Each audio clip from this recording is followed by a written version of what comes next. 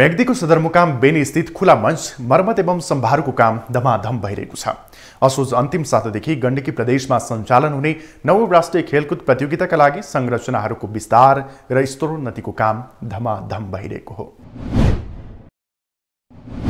असोज अन्तिम सातादेखि आयोजना हुने नवौं राष्ट्रिय खेलकुद प्रतियोगिताका लागि म्याग्दीको सदरमुकाम बेनीको खुला मञ्चलाई अहिले सिँगार्न थालिएको छ। खुला मञ्चलाई रङ्गरोगन खेल मैदानको स्तरोन्नति र आसपासका क्षेत्रको अव्यवस्थित संरचना हटाउने काम तीव्र गतिमा अघि बढाइएको छ।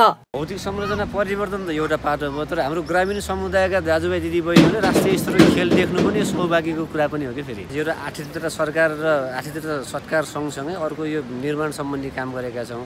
वडावासीहरूले आठीतिरका लागि पहल गरेको छन्। जिल्ला खेल विकास समिति र भलिबल सङ्घ सङ्घ मार्फत यो कबड र यो मञ्चको लागि व्यवस्थित रूपमा अगाडि बढेका छौँ। जिल्लामा हुने खेलका लागि जिल्ला समन्वय समिति बेनी नगरपालिका र जिल्लाका अन्य गाउँपालिकाले समेत आवश्यक बजेटमा सघाउने प्रतिबद्धता जनाएका छन्। भलिबल खेलका लागि म्याग्दीले पाएको अवसरलाई दिनरात गरी सफल बनाउन लागि परेको जिल्ला भलिबल सङ्घ म्याग्दीका अध्यक्ष तेजेन्द्र बानिया बताउँछन्। भलिबलको तयारी चाहिँ हामी एकदम तीव्र गतिमा तयारी गर्दैछौँ।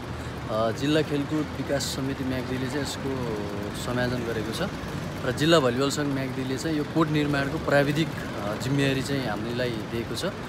बेनी नगरपालिका जिल्ला समन्वय प्रमुखज्यूहरू र हाम्रो बेनापा सात आठवटाका अध्यक्षज्यूहरूले पनि यसलाई चाहिँ एकदम सहकारी समन्वय गरिरहनु भएको छ। गण्डकी प्रदेशमा सञ्चालन हुने नवौं राष्ट्रिय खेलकुद प्रतियोगिताको महिला भलिबल र तेक्वान्दो प्रतियोगिता म्याग्दीको बेनीमा सञ्चालन हुँदैछ। तेक्वान्दो प्रतियोगिता सदरमुकाम बेनी बजार स्थित जिल्ला खेलकुद विकास समितिको कवर्ड हलमा हुनेछ। यसै गरी भलिबलमा सात प्रदेश नेपाल प्रहरी त्रिभुवन आर्मी क्लब सशस्त्र प्रहरीको एपिएफ गरी दस टिम सहभागी हुनेछन्।